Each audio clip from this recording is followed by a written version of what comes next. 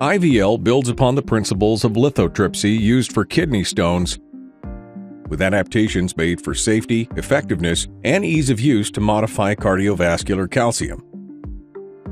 Far less energy is needed with IVL than traditional lithotripsy because the lithotripsy source is in close proximity to the calcium and the goal is only to fracture it, not pulverize. IVL modifies calcium through use of shock waves, which are a specific form of sonic pressure waves.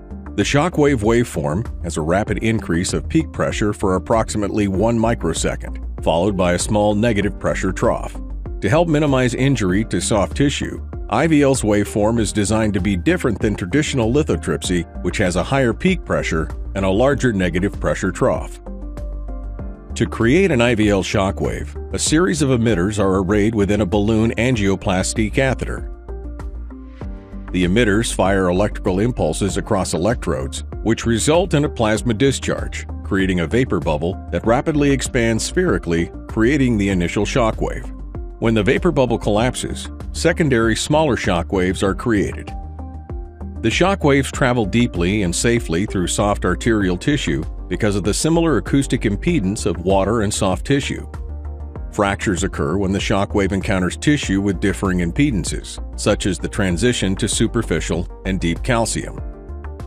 The leading edge of the shock wave imparts compressive stress as it encounters calcium.